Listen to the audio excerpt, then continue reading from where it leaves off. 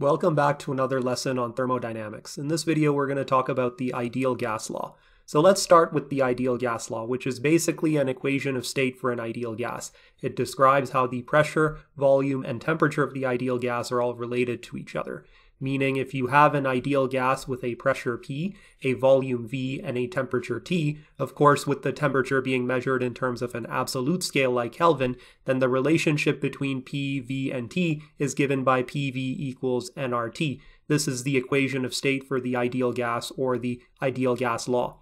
I'll call this equation 1. Note that N here represents the amount of the gas in moles. Recall that a mole of a substance is the amount of that substance which contains an Avogadro's number of its molecules.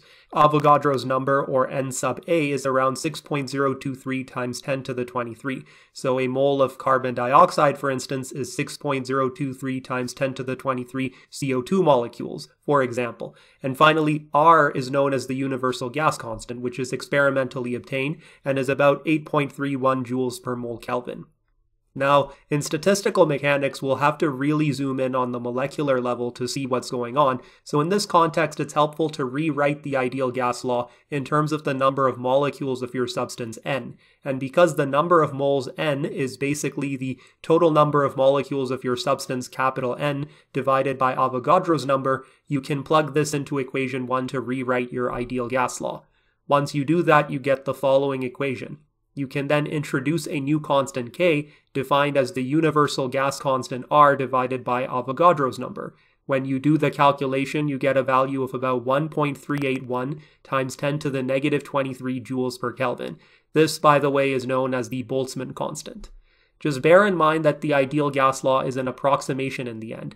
Real gases like oxygen, carbon dioxide, etc. aren't actually ideal gases.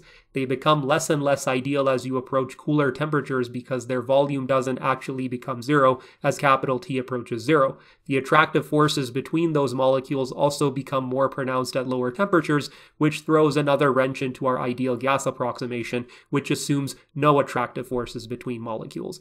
But equation 1 is still a good approximation at higher temperatures when the space between molecules is sufficiently large. So ultimately, in terms of the number of molecules and the Boltzmann constant, the ideal gas law becomes PV equals capital NKT. Now let's look at a microscopic model of an ideal gas by examining the behavior of a single particle. Let's say that we have a single ideal gas molecule in a cylindrical container with a volume V, cross-sectional area A, and length L. The cylindrical container has a piston at the end like so, which is responsible for the pressure being put on our system. Of course, the volume V is just capital A times L. Well, suppose that at time zero, the molecule has a velocity v given by this vector. Let's also suppose that when the molecule collides with the wall of the container, the collision is elastic, meaning that the molecule doesn't lose kinetic energy with the collision. Since the mass of the molecule is obviously conserved, this means that the molecule speed or velocity magnitude remains constant with each collision. And lastly, we'll assume that the walls of the container are perfectly smooth so that the molecule bounces off at the same angle it struck the surface with. So with each collision, for instance, theta 1 equals theta 2 over here.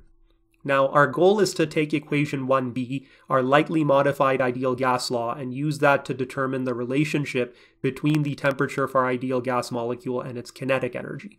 This will be a two-step process. We'll first find the relationship between pressure and kinetic energy, and then we'll use equation 1b to relate that kinetic energy to temperature. So let's start with the pressure. Recall that pressure fundamentally is the force per unit area, but in this case, because we have just one molecule, the only time there's pressure exerted on our piston is when the molecule actually hits the piston. So it's better to conceptualize our pressure as an average pressure over a long period of time. So the average pressure on the piston is the average force exerted on the piston by the molecule divided by the cross-sectional area A. But by Newton's third law, the force exerted by the molecule on the piston is equal and opposite to the force the piston exerts on the molecule.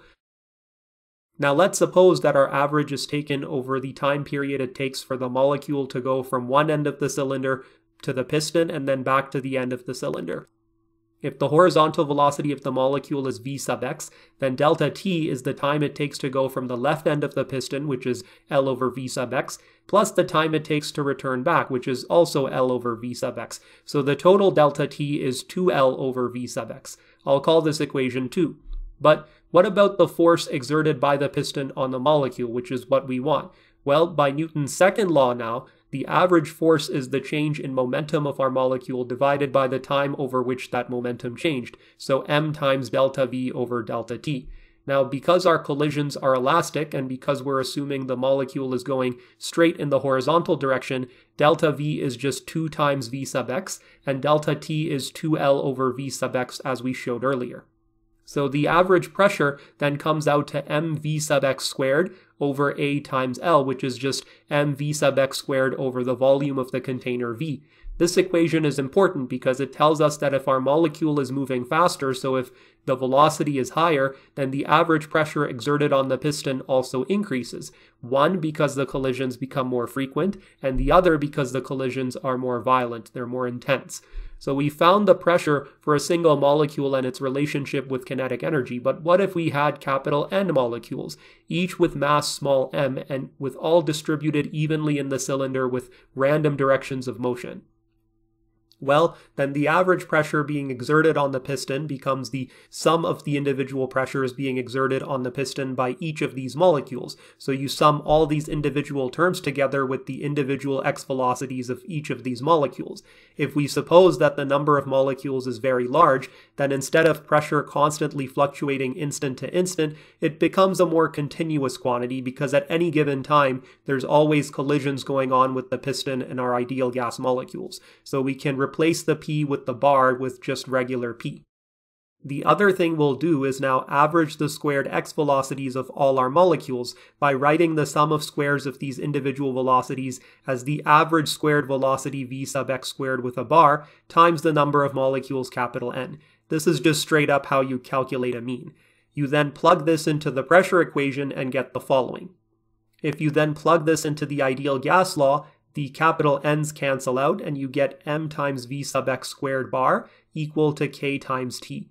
Half of this would then be half of k times t, the same logic applies to the v sub y and v sub z velocity components. And if we use the fact that the kinetic energy is half m times the sum of squares of these velocity components, we can add the half kt contributions from each of these components to conclude that the kinetic energy of our ideal gas molecule is 3 over 2 times k times capital T. I'll call this equation 3. And this equation is really important. It tells us that the temperature of an ideal gas is directly correlated with the kinetic energy of its molecules. By raising the temperature, you raise the kinetic energy of the individual molecules. But technically speaking, the assumptions behind equation 3 theoretically mean that it would not apply for a non-ideal gas, or a solid, or a liquid, or if any one of our other assumptions breaks down, like if we had inelastic collisions or forces between the gas molecules. But we'll see later in the series that equation 3 holds for a number of other situations, including non-ideal gases and even some solids and liquids. Anyway, that should do it for this video. I'd like to thank the following patrons for their support, and if you enjoyed the lesson, feel free to like and subscribe. This is the Faculty of Khan signing out.